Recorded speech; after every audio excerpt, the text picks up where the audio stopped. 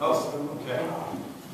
Well, while, while we're doing this, in 2009, the chairman uh, was named the, uh, the Entrepreneur of the Year. Give me that, Stu. In 2009, the chairman was named Worldwide Entrepreneur of the Year by Ernst Young. So 这 he's, 个 uh, 曹总在两千零九年获得 Ernst Young 全球呃企业家 a lot of awards. Okay. Thank you. Beautiful present, Stu. I hope you didn't break yours. Okay. If we have a question or two, we'd be glad to answer.